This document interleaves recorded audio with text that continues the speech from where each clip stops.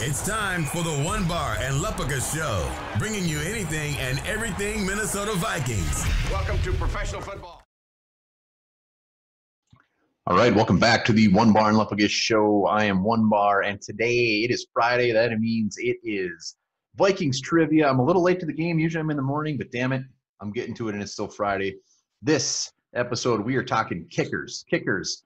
Vikings kickers is a little bit of a sore spot. There's gonna be some tough names that are gonna be na- mentioned in this this week's trivia, but damn it, we'll get through it together. Before we get into that, remember subscribe to the Onebar and show, like the videos. Let's get into it. Remember, keep your answers in your melon till the end, uh, and I'll ramble off the answer. So five questions, five questions. I'm not gonna lie, this isn't the easiest uh, easiest one. I'm gonna say if you get more than two, you did pretty good. So uh, we'll see. So number one, kicker edition for the Vikings, the 1998 championship game. Yes, still a little bit too soon to talk about, but I got to bring it up.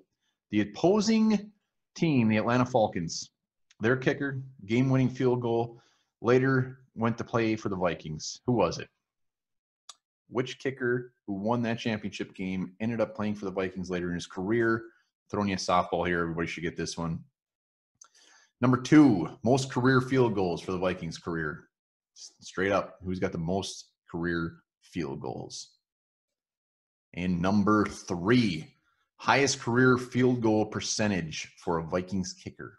Highest career field goal percentage for the Vikings.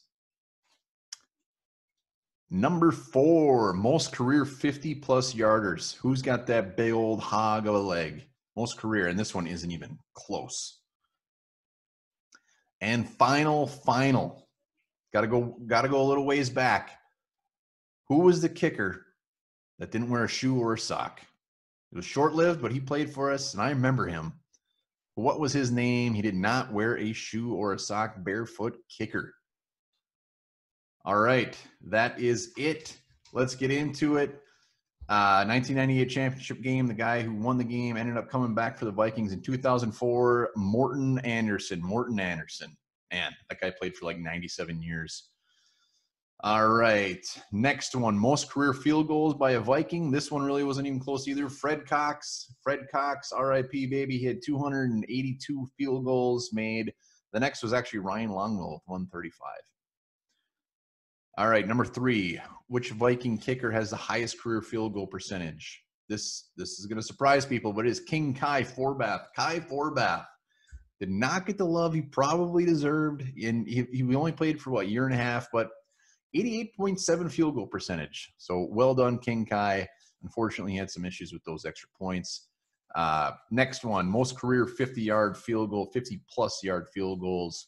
And like I said, this one isn't even close. Blair Walsh wipes the floor with everybody else. He had 24. He was career 24 of 34 from 50 yards, and that is almost unheard of. Next one was Ryan Longwell with 11. So Blair Walsh. And final, final, who was our barefooted kicker? 1989, Rich Karlis. Yes, Rich Karlis, former Bronco, came to the Vikings for a year. Uh, I remember on special teams one year, he went down and got the tackle, and I saw his little barefoot hanging out there. It was fantastic. All right, let me know how you did. Hit me up in the comments. Four for four or four for five, one for five. Let me know. And uh, tune, tune in next week, uh, next Friday for more trivia.